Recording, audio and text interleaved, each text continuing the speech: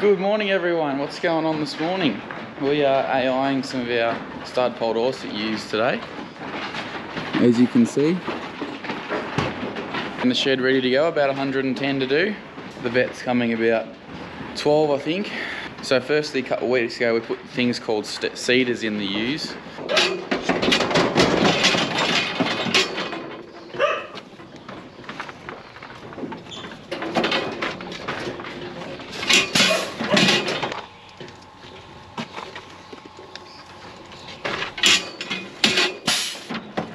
And what that does is is stops the ewes from cycling for yeah they were in for two weeks or 13 or 14 days. Then we took them out on Wednesday morning and gave them an injection of Novormon which is this stuff here. Um, what that does is sort of starts the ewe cycling. So I think it's something like 50 52 hours or something after they've given that injection they start cycling and, and that's when you AI them then so that's what we're doing today. Using two different types of semen, well not types, two different um, studs. So Springwater stud at Brewer and then Hilden stud at Bannister. Uh, two different rams. So we used a Springwaters ram last year and he went really well. So we're trying a different one this year. The girls are looking pretty good though. So they've actually been off water, off food and water since uh, today's Friday morning. It's Wednesday night they've been off off food and water. So we've got Will and Terry coming out to give us a hand. So we've got a, the vet brings two cradles. Here you'll see this, but um, we've got to tip them upside down and sit them in the cradle and then roll them over. And they get sedated too, just to try, just to calm them down. Doesn't quite knock them out, but it's not far off. So the reason we AI is is mainly to get some is mainly to get some better genetics in the flock. So obviously we can go out and buy some rams, but but these these rams are semen we're using is rams that have been kept in behind for for the breeder's own stud because they're they're shown shown really good type and, and quality of Poll Dorset sheep. So you know by AI we can get semen off off some really high end rams um, without having to buy, buy buy a ram. So obviously this is the shearing shed, but we um, had to give it a really good clean out as you can imagine, it's a surgical procedure, so everything's got to be nice and clean and and hopefully sterile as it can be. Yeah, gave all the floor a wash like we do before shearing anyway, but gave it another wash. They're still, even though they've been locked up for for a couple of days, they're still um, going to the toilet. So also just got to put um, probably get up there and put a bit of tin up there over that skylight, and possibly that one too, just because it needs to needs it to be dark or darkish in the shed here, so no no direct sunlight. Which um that's a new bit of perspex or whatever it is, so it, it's pretty pretty clear and bright. So I'll just have to do that at some point. Maybe that one too. Once the procedure's formed, they're on like a trolley thing that you wheel out, and we'll just let them go out here That gate swings across there, and then they walk outside. And I'll just let them wander just down the paddock onto some ryegrass. Um, just got to keep, you've sort of got to keep them pretty calm, and once it's done, because they can can still sort of abort sort of day or two afterwards. So just got to be pretty gentle with them and just let them let them wander down the paddock there. Another thing we've also got to do too is because we're using two different rams, we just have to mark the first 50, 55 of them uh, so that we know obviously the fathers of, of the different types. We just use a bit of branding fluid over there, and that stays on them for a really long time. That'll that'll stay on them till um, till we actually mark the lambs then, so that'll be good. We actually had a meeting with um, because all these ewes have got electronic tags in them, but we haven't actually done anything with the software yet. But we had a fella come out and have a chat to us last week about uh, what, what the best thing to use, what the best software for us to use was. Um, I think we're going to go with a Tru-Test, just buy a new Tru-Test monitor. So we got we've got our old Tru-Test monitor here, but it doesn't, it won't. Um, you can't actually put any data into that and onto the tag. So we're going to buy a new one of them, I think, and that then it'll work with our Shearwell wand So they got Shearwell tags in them, so that'll work. The Tru-Test will hook up to our Shearwell wand, and then we'll be able to actually start start using them. Which it's un, probably unfortunate we didn't have it today because that's actually thinking about it now that that's something we could have actually used the tags for today was putting the different fathers in that just come out. We'd scan them, put which father this one was going to be joined to, and then you know that'd be on the tag. Then we wouldn't have to brand them. So it's unfortunate, but it's expensive, but not in the grand scheme of things. I suppose we just got to go and do it. I think it might be five or six grand for for um, a new monitor from memory for the one we're gonna get. It's a bit better. Might just have to move it over a little bit. Just put a bit of tin on top there. So it's a bit darker in here.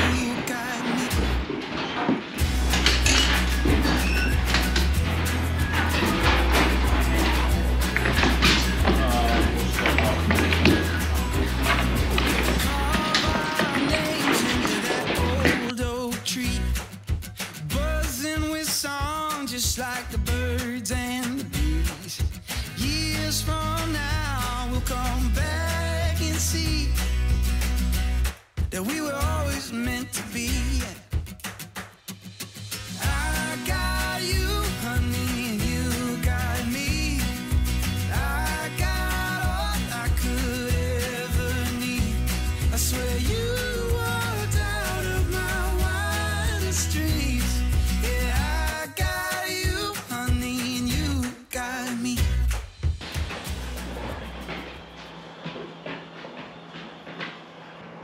Might not pick it up.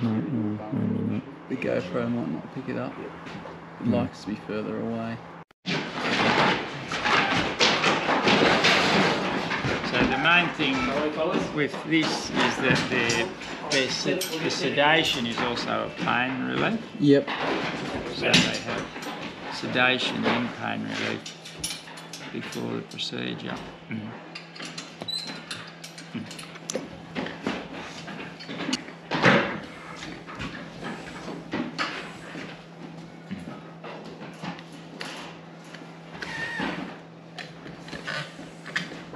Used to wake up last this weekend.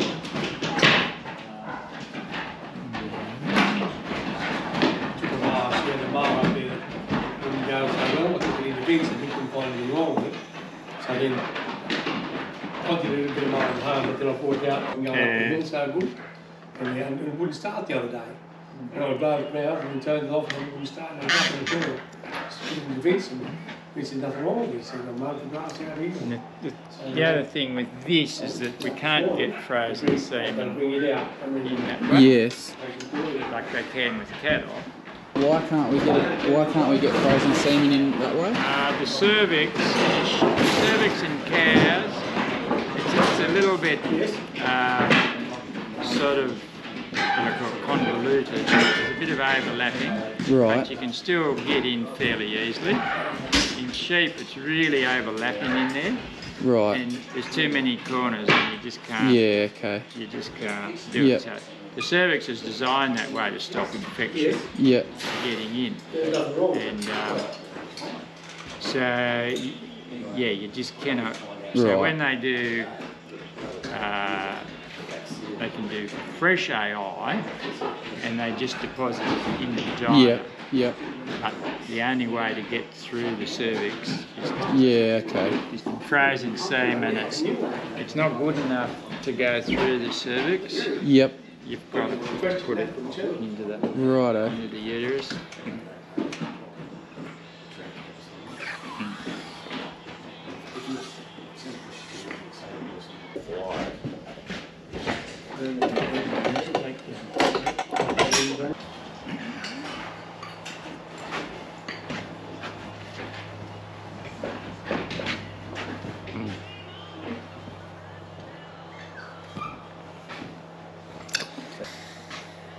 Yeah, have Saturdays? Uh, Emergencies. no, yeah, emergency. Oh, I mean, I I work, but um, like I've still got a lot of rams in the shed. I'm trying to collect, so I don't have I don't have set hours for the surgery. So you, the Rams at, at the at the surgery? Yeah, Yeah. yeah. There's a ram shed next to the surgery, Yeah. and I'm still trying to finish a heap off there. So when when they're stuffed, like the ones that get stuffed for the shows, they, they, they'd be a bit hard sometimes to get. Oh, well, a lot of rams, they'll come in, they'll be no good, they'll go home for a while, they'll come back in again, we try them again. Some of them, are, they need them for an AI program, Yeah. some of them, they need them for trial. There's all these trials that are going on. Yeah. Um, like the last three months, I've hardly been in the surgery one day. Yeah. The girls, the girls are there, they, they do most of that. Yep. Okay.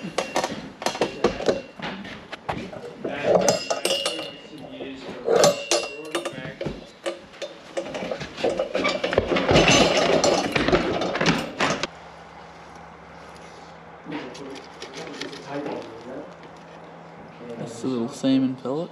Yep. Pop him in there.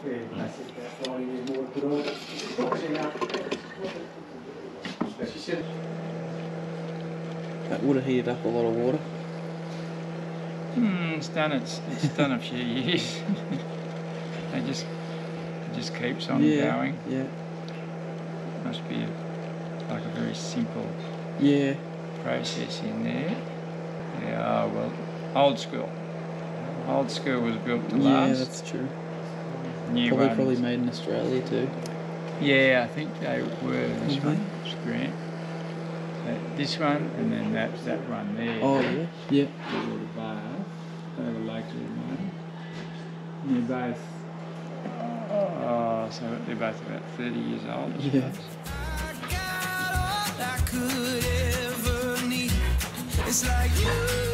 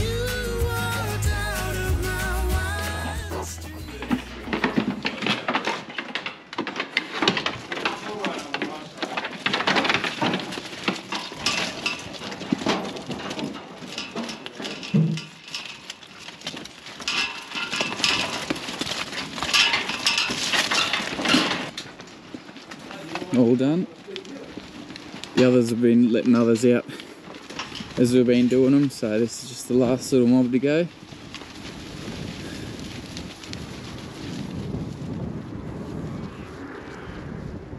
And that's another day of AIing done, which is good. It's about no, it's about 6:30 now. We were probably finished about 5:30, I think. Just been having a yarn and uh, packing up and everything, but no, that went really well. Couldn't have asked for a better day for it. Everything went smoothly. I think we did 108 or 9 views um, with two different types of semen, so that was good. About oh, about 53 with one and the rest with the other. So, no, it worked well. Appreciate Ron and uh, Harry letting me film a bit of the procedure, which was really good. He talked me through it a bit too, which was even better. So, no, I really appreciate it when people people do that. Thanks to Terry and Will too. They come out and help. It was a big help having four people lifting those big Uzi up, up into the cradles. Really makes a difference. So thanks to them as well. But um, we just let them wander out of the yards and they're just coming down here. I'm going through down to the ryegrass paddock down here. They might know where that trough is. They might have had a drink too, but that would have been the main thing they would have been looking for, I'd say. So we've got to sort of not leave them alone for the next day or two, just to, you know, because they can still lose the, um, still abort the lamb, I suppose you'd call it, um, in the in the next couple of days if you sort of disturb them too much. So just got to leave them alone for a day or two um, down here, and then we'll we'll get them in. We just marked them with a bit of chalk, um, the different size, but we'll have to get them in and put a more um, more permanent uh, paint on them, just so that and then that'll last all the way through to, to lamb marking then, so we know who the fathers are. I think I said it this morning, but ideally we would have had them on the electronic tag, but I actually couldn't get the um, ear tag reader to work. So I think I said about how good technology was, but when it doesn't work, it's a pain in the neck. So there you go. There's a classic example. But no, that's a that's a that's a good job done now. Um, question of the video: What's the gestation period of a sheep? Put that down below if you know. If you don't, have a guess. But uh, yeah, I hope you enjoyed that uh, video. I, I sort of hope it was pretty interesting. Um, once again, I appreciate Ron and Harry letting me film a bit of the, the procedure and things, so it's much appreciated. I, I um, was asking a few questions and things too, so I'll probably put a few subtitles in the videos, but no, I hope you enjoyed that. Any questions, absolutely put them down below. There might be a few on this one, so hit that subscribe button, and with that, we'll catch you in the next one. Alrighty, see ya. Bye.